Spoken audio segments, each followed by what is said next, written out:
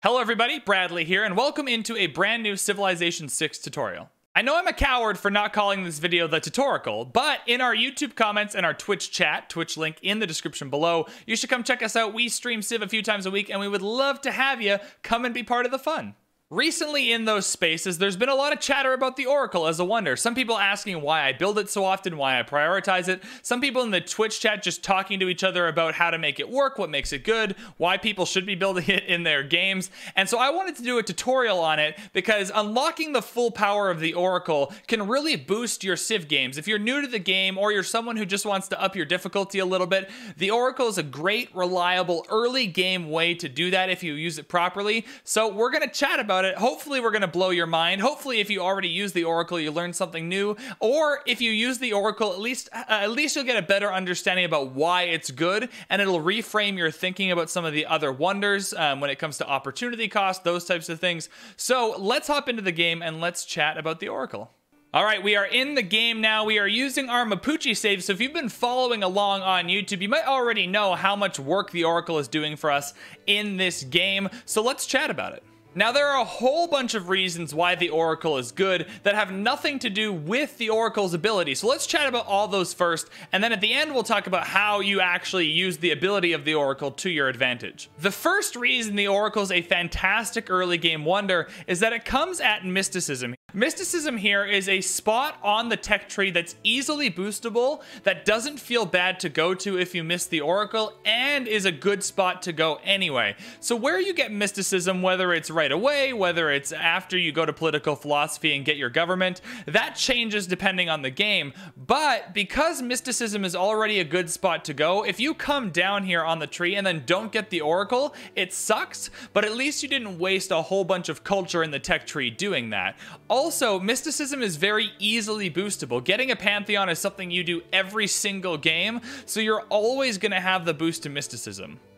If we compare that to some of our other early game wonders, let's talk about the pyramids in Toa. These are all wonders, or I don't have the pyramids, sorry, not in this one. I'm, I'm currently taking over the pyramids. We're working on it.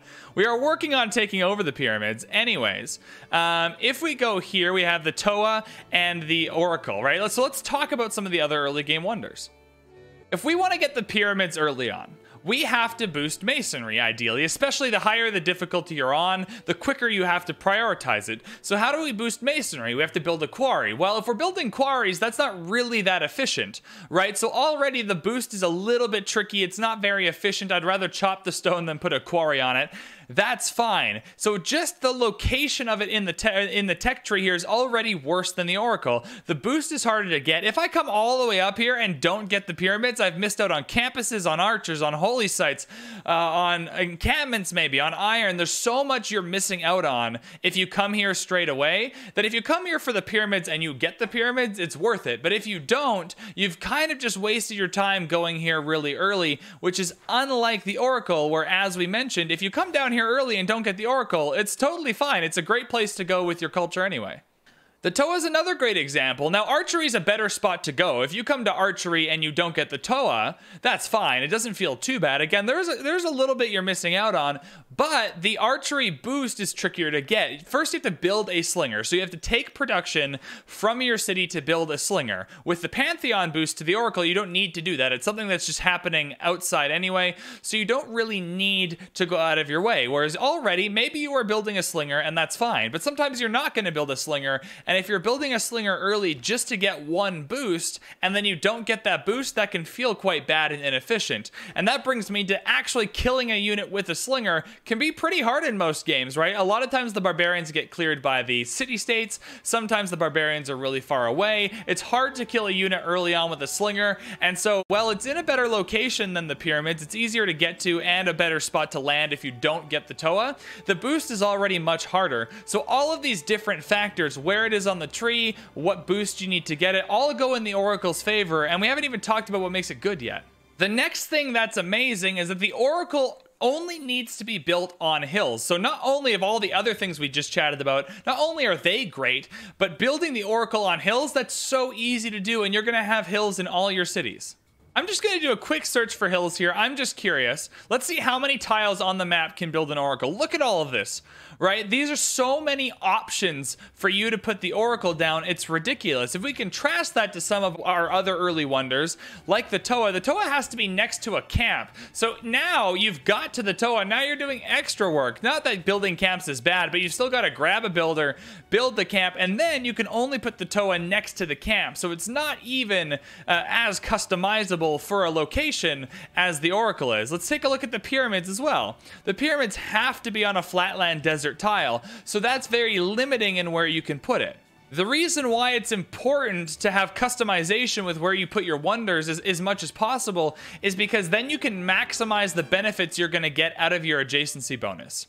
Because the Oracle only needs to be put on hills, and all of my cities are going to have hills, you can put it in any city, it allows you to put it in a spot more than likely that'll help with adjacency. Sometimes with the pyramids, if you have this city and your flatland desert tile is out here, you build the pyramids out here, but then you have to build your theater square next to that, and you're not really maximizing the adjacency bonuses. Whereas with the Oracle, I can build the Oracle here, I can get a theater square nearby, because the Oracle's in a central location and the theater theater square's in a central location. I can settle another city here to make the most of it, and it's much easier to maximize the adjacency of your districts. Now, in this game, it's a little bit of a bad example because we did get a really good Toa location, and it's nice and close, and we're able to maximize our adjacency over here as well. You can see we have 351 culture, which is awesome. All right, so this Toa is doing a lot of work for adjacency as well, but what makes the Oracle great when it comes to adjacency is it's reliable and you can do it every single time every single game, you can put the Oracle down on a hill that's more than likely in a good location to really maximize adjacency with multiple cities, whereas that's not always true for the Toa or Pyramids or the other early wonders. Next, I suppose we should finally talk about what the Oracle actually does for you. The first abilities are fine. Recalling heroes costs 15% less faith, and buying great people with faith is 25% less. You're to have a lot of things to buy with faith in the game, so you probably won't be doing this too often, but even just buying one or two heroes back or a couple of great people in a pinch, uh, this already is very helpful for that, so that's awesome. The main thing we're looking at here, though, is districts in this city provide two great person points of their type. For example, great writer points for the Theater Square district, now, one of the reasons the Oracle is so good is because it's kind of customizable in how you can use it. Early on, it is going to give you two great person points for the district type you have put down, which allows you to put down kind of whatever district you want and get that benefit. So let's say it's the early game. Let's say you're in the early game here and you want to go to war early on, so you need a great general. Well, you can put an encampment in the Oracle City, and all of a sudden, boom, you're getting two great general points. Let's say you don't want to go to war and you want uh, you want an early great scientist. Well, you can put a campus down and get the great scientist points. So the two great person points is great early on, but what makes it even better is that you can choose in a way which great person points you're going to get. It's not a set thing. You get to choose and customize how it benefits you. Now, obviously, you don't have all the options available to you. Industrial zones come a little later where they up an apprenticeship, right? So great engineer points not coming too early in the game, right? But commercial hubs, harbor, uh, yeah, commercial hubs, harbors, encampments, encampments, holy sites, campuses, all of these other districts that give you great person points, they come early on enough that you can choose what you're getting even better than that, the, the benefit keeps going as the game gets on, right? So in your Oracle City, if you prioritize um, lots of food in the city and you have a high population, you can put down lots of districts. So you've customized early on, you've got your early great general points. Now it's time to put down a campus. Well, when you put down the campus, you're now getting the great general points and the great scientist points. And then later in the game, you're going to chuck down your theater square maybe, and now you're getting the great writer points on top of the first two. So when you put more districts down, it doesn't take the benefit away from what you've put down already. It just adds another two great person points to the mix. Now, as you get through the game, two great person points means less and less as the amount of points needed for the great people goes up, right? Two becomes less and less, but two is still better than what the AI is getting. If you have the Oracle and you're getting those great person points, it means the AI is not getting them. So even though two becomes less and less of a number, it does give you an advantage for the whole game to pick and choose which great person points you want. For instance, if I want a bunch of really good, great engineers, I can put down a bunch of industrial zones, definitely put down one in the Oracle City, get those extra two points, and even though those extra two points aren't gonna aren't gonna bag me every great engineer, they're gonna they're gonna help give me enough points that I can pass on the ones I don't want, and always make sure I have enough points to get the ones I do want, like a wonder engineer, or maybe you want the great scientist that has the space race tech, right? Getting those extra points throughout the game does give you a little more flexibility in which ones you can and can't get and which ones you can and can't pass on. Additionally, because purchasing them is now cheaper, when you get to the point where you can faith purchase the one you want, it's cheaper for you. So it does help a lot in making sure you are getting not only the great person points you want at the time you want them, but helping to make sure that you are getting the right great people with those points. Now, I'm sure I'm going to miss something. Uh, feel free to put in the comments if there's another reason that the Oracle's fantastic, because it is definitely S tier wonder. That the last thing that makes it so good is that Pingala is the best governor to go early on by a mile, and the Oracle synergizes with Pingala so freaking well.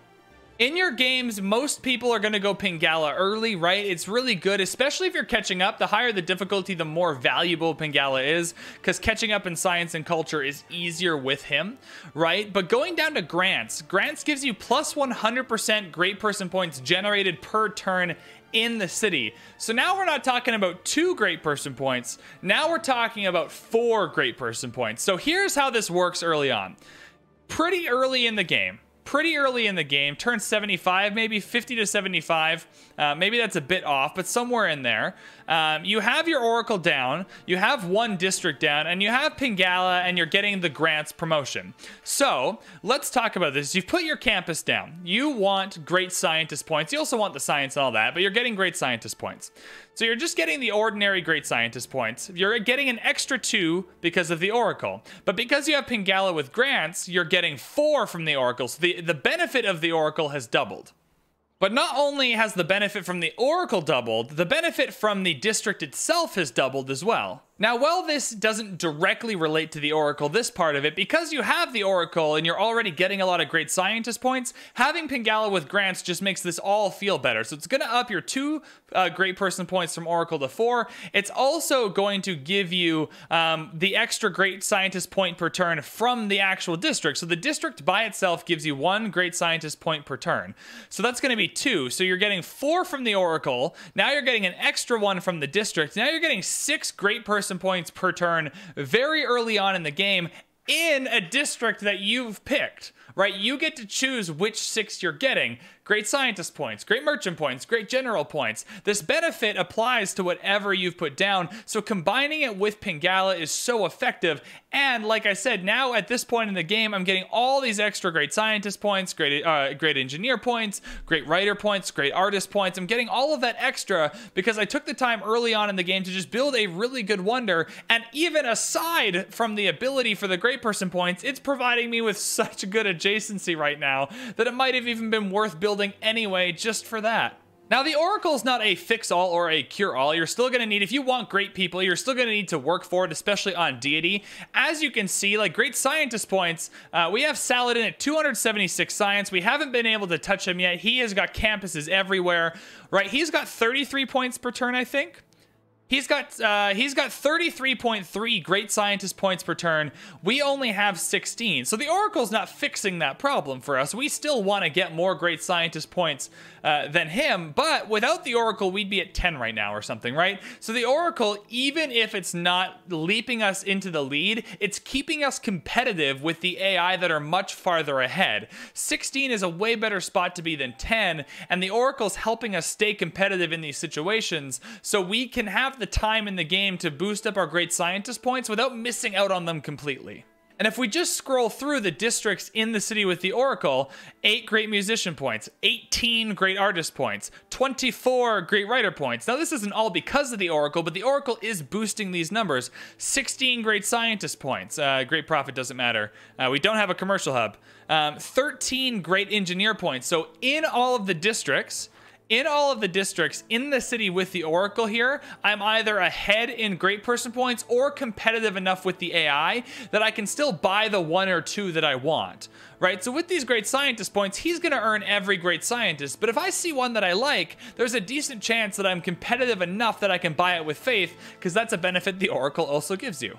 Either way, I think this was a, a good kind of just a, a, a chat, a tutorial-ish about the Oracle. I hope that after listening to this video, you've either learned the ways of the Oracle and why it's so good, but if you haven't, if you already knew the Oracle was good, it's good to start thinking about these choices, these wonders, these decisions, in terms of not just the benefit the wonder gives you, but where is it on the tech tree? How hard is that boost to get, right? If I go there and I don't get the wonder, how bad is that gonna feel? Have I just wasted my time? Because the wonder benefit and cost is very easy to understand, but there is a lot of opportunity costs that go into them. What units do I need to build? What tiles do I need to get? Where is it on the tech tree? So it's good to start thinking about wonders in those terms as well, because it helps illuminate the choices you're making and helps you make better choices.